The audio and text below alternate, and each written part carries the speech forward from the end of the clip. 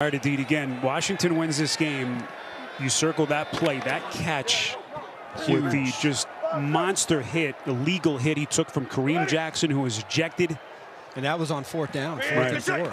Could that be the potential turning point? How does Russell Wilson and company respond? Boy, not well, at least on the first play, as finally that vaunted defensive front able to get to him. We'll check the flag here. It was Daron Payne who got there. And this one is on Denver. Holding offense, number 69. That penalty is declined. Second down.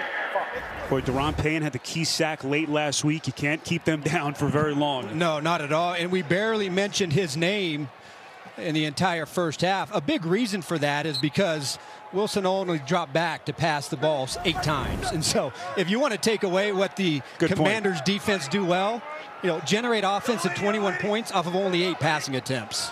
I like when you go deep with your nuanced analysis. I love it. Yes. Javonte Williams, and he's buried. And it's Daron Payne again. Yep.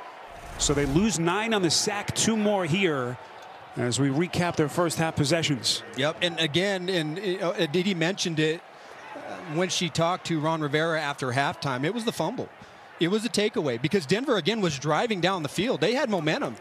But that fumble, they were able to turn it around and capitalize and get back in this game. And uh, what a start so far here to start the third quarter. Defense fired up. Number 94 single-handedly killing the Broncos offense. Wilson on third and 21, and that's That's him down. again.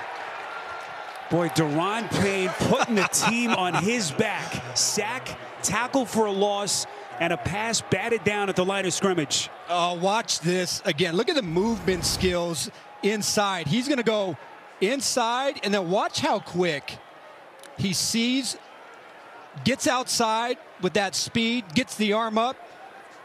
Washington defense off the field. They need more.